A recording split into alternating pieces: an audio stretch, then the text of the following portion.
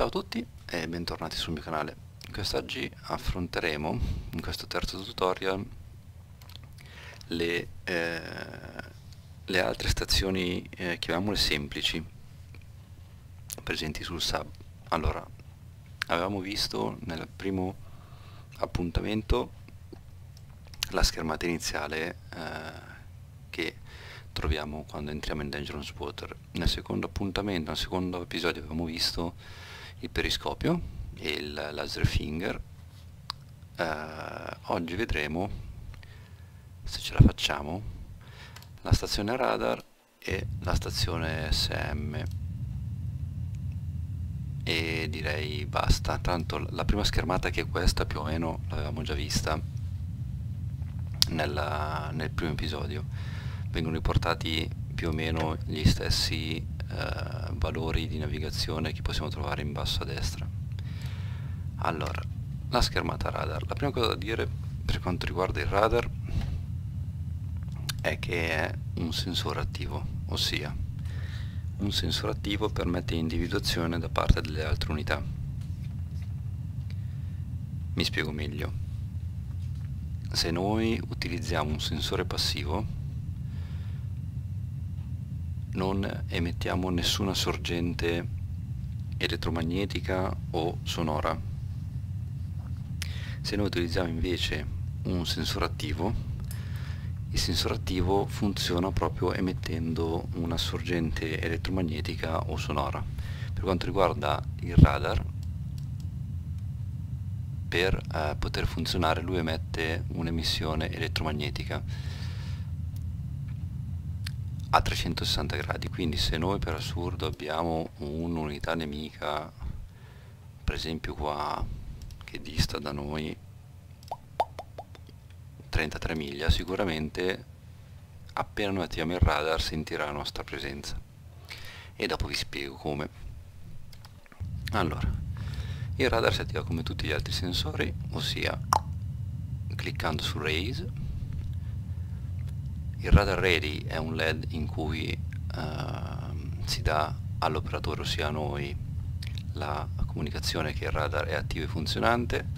Il range è la portata massima del, del radar. Allora il centro siamo noi ovviamente. La portata massima sarà il perimetro esterno. Quindi se mettiamo 20.000 yards il perimetro esterno corrisponderà a 20.000 yards se ne mettiamo 5000 il perimetro esterno corrisponderà a 5000 yards abbiamo la possibilità anche di eh, visualizzare i eh, dei cerchi. Ok. Che ci permetteranno di avere una visuale più chiara di dove si possa trovare il nostro bersaglio non sono altro che delle suddivisioni ad esempio. Per 20.000 yards se noi mettiamo 20 range ah no forse ho sbagliato perdono allora questo è il range. Il range del radar. Sì in effetti ha una sua logica. Quindi ricapitoliamo. Questo è il range 10.000 yards, 20.000 yards, 30.000 yards, 40.000 yards, 50.000, 60.000 yards. Se noi attiviamo il range rings, eh, diciamo alla macchina ogni quante yards vogliamo un cerchio. Allora, quindi disattiviamo un attimo il range rings, attiviamo il radar.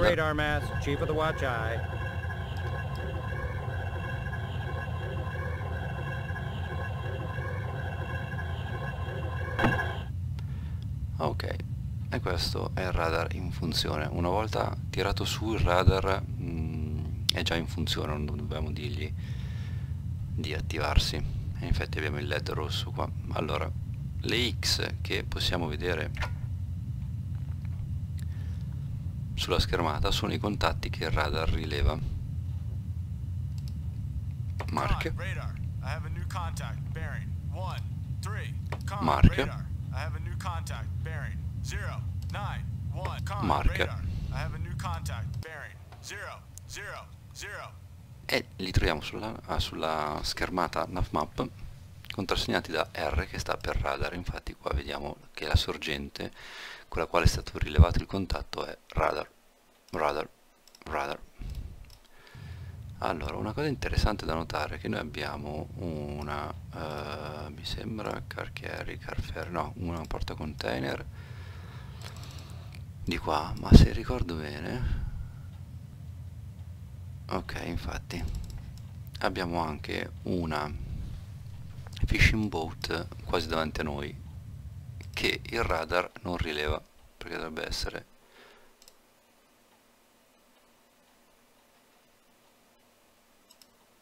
questa dovrebbe essere la porta container dovrebbe essere più o meno qua. Eh, torniamo sul bridge. Allora.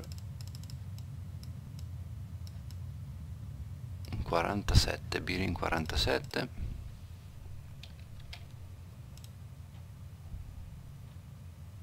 ah però è relativo il Birin che io vedo dal no è giusto? Oh my god. Questo è la prua del sì è la prua perché questa è la poppa quindi questa è la prua. Io sto andando per 45 se io prendo questo eh no infatti è relativa. Quindi per trovare l'avevo trovata prima adesso non la troverò mai più ecco la fishing boat che a 340 vuol dire che mi devo spostare di 20 gradi ossia di 25 a 25 birri in assoluto.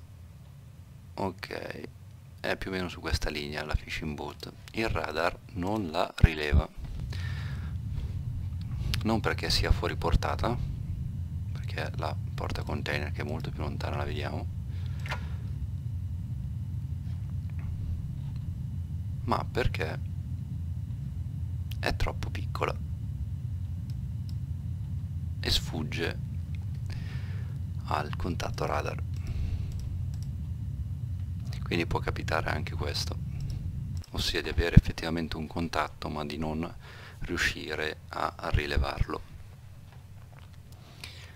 Ok la, la posizione un'altra cosa importante da dire sul radar è che la posizione cui, in cui marchiamo il contatto è la posizione reale ossia non abbiamo bisogno di calcolare distanza o mica distanza è quella che riusciamo a rilevare. Infatti a differenza dei contatti eh, riscontrati con il sonar non abbiamo nessuna linea che collega come primo contatto il nostro sub al contatto rilevato. Bene, non è che ci sia molto altro da dire sulla stazione radar, quindi direi di Io nel frattempo ricarico l'aria. Ok, la, um, la seconda stazione che vorrei vedere oggi è la stazione ESM e radio. Infatti come potete vedere è suddivisa in due la schermata una parte superiore e una parte inferiore. Allora attiviamo l'ESM l'ESM è un sensore passivo ossia attivandolo non emettiamo nessuna sorgente né acustica né elettromagnetica. Al contrario invece l'ESM è un sensore che ci permetterà di captare tutte le emissioni elettromagnetiche. E infatti quando prima vi dicevo che il nostro radar sarebbe potuto essere captato da un'ipotetica unità posta nelle nostre vicinanze. Mi riferivo proprio a questo ossia l'ESM è quel sensore che ci permette di rilevare il bearing e il tipo di unità che sta emettendo quel tipo di segnale. Adesso lo attiviamo così. Facciamo subito un esempio pratico.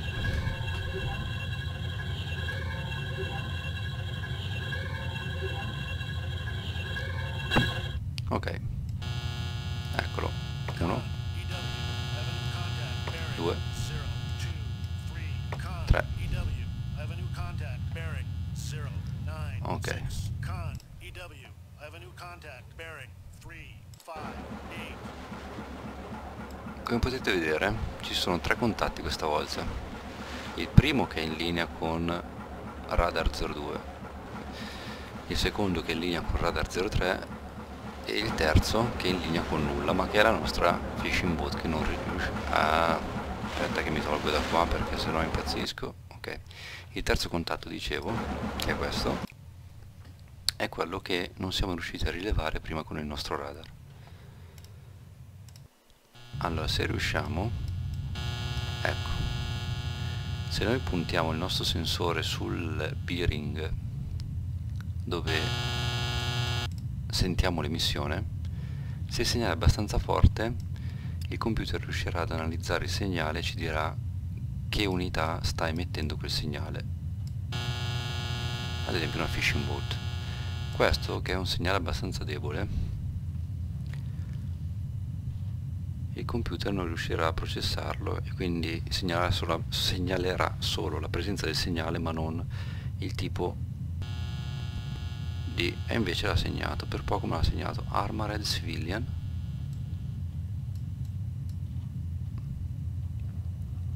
Vediamo. Come on. Attendiamo fiduciosi. Armored Civilian. Proviamo. Armored Civilian Container Ship ok allora dovrebbe essere uguale a questo vediamo non qua Armored Civilian ok dovrebbe aver variato e infatti è variato anche questo perché gli abbiamo dato il tempo di leggere è molto comodo l'ESM per due motivi il primo è che ci dà se possibile un'esatta indicazione di che tipo di contatto stiamo osservando il secondo è l'indubbio vantaggio di essere un sensore passivo. Allora, sia il radar sia le SM è possibile utilizzarli anche in immersione. Zero, five, five feet, Questo comporta il fatto che senza die, die. emergere possiamo... Vai, ridai. Ok. Die, die. Dicevo, senza riemergere possiamo uh, fare una scansione del contesto che abbiamo sopra la testa ok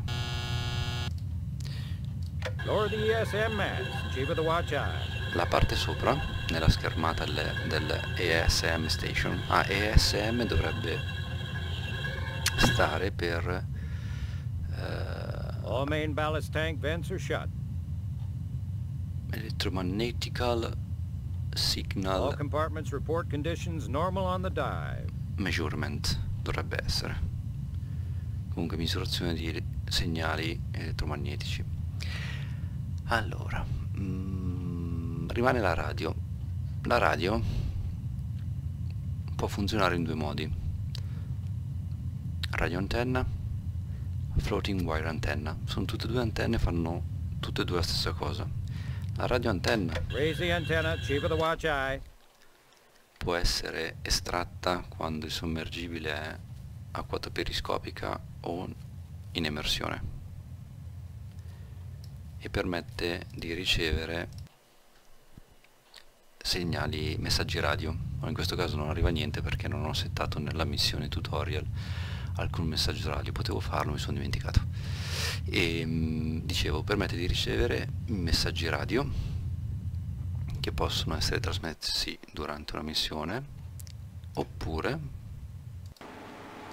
può essere usata, vediamo se esatto, per promuovere a link un contatto. Promuovere a link un contatto significa far sapere a tutte le altre unità ehm, alleate che noi in quella data posizione abbiamo rilevato un contatto. Se le altre unità del nostro site, della nostra alleanza, hanno l'antenna estratta,